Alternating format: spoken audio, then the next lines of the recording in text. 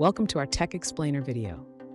Today, we're tackling a challenge that many Java developers encounter. Our viewer is using Java 8's files.walk method to count MP3 files in a directory and its subdirectories. However, they face an issue when an access denied exception occurs, causing the stream to close unexpectedly. Let's dive into this problem and explore how to handle it effectively.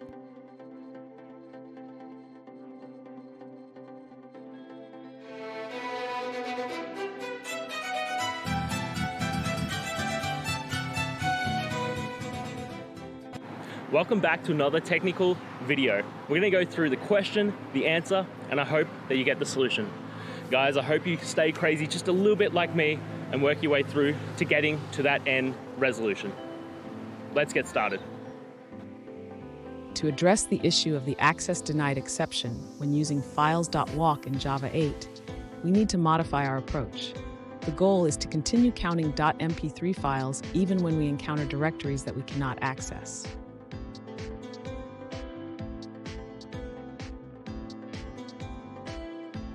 First, we can use a try-catch block inside the Lambda expression to handle exceptions for each path. This way, if an access denied exception occurs, we can simply log it and continue processing the remaining paths.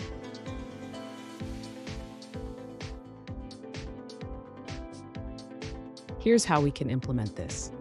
In the filter method, we will wrap the access logic in a try-catch block. If an exception occurs, we will print the stack trace and return false, allowing the stream to continue.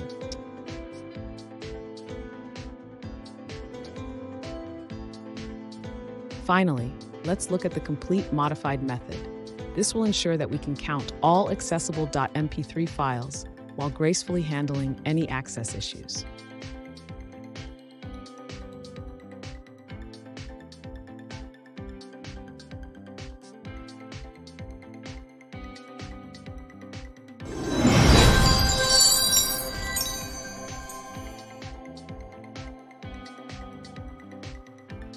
Let's now look at a user-suggested answer.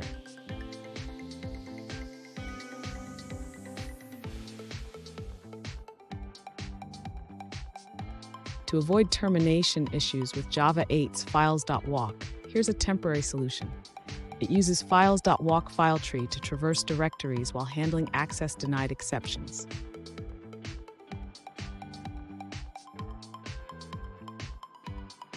The code initializes a count array to track the number of files visited.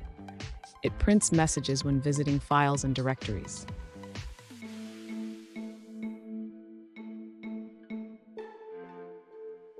In case of an access denied error, the visit file failed method skips the subtree, allowing the traversal to continue smoothly.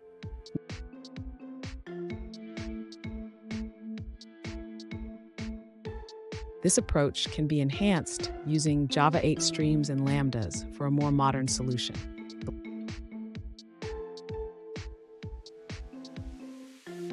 And that's it, guys. I hope those questions and answers really helped solve that solution for you.